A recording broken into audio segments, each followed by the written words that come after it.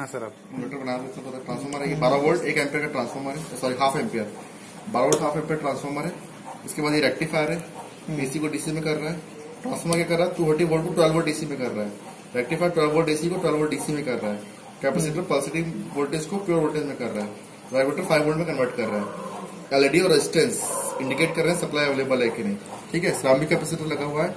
ये क्या कर रहा है? नॉइस रिमूव करने का काम आता है। इस पूरे प्रोजेक्ट को कंट्रोल कौन कर रहा है? ये microcontroller eight zero five one. Eight zero five हाँ। इसका तो ये लगा पुल अप रजिस्टर ठीक है?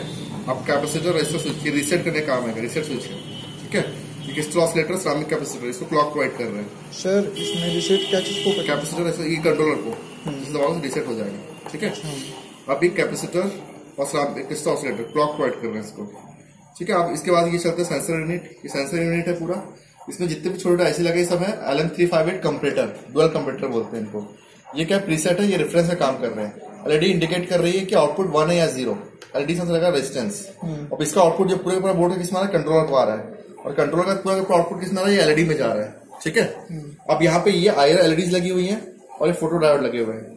यहाँ से लाइट एमिट हो रही है यहाँ से रिसीव हो रही है। और फाइनली किसमें जा रही है? कंप्यूटर में जा रही है। और कंप्यूटर के बाद फाइनली जा रही है कंट्रोलर में।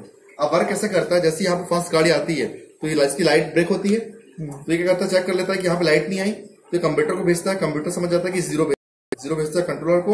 कंट्रोल क्या करता है? यहाँ की लाइट को ऑन कर देता है। सेम इसके लिए, यहाँ पे जब आती गाड़ी तो इन दोनों को ऑन कर देता है। फिर इस तरह से कंटिन्यू चलते जाता है। ठीक है?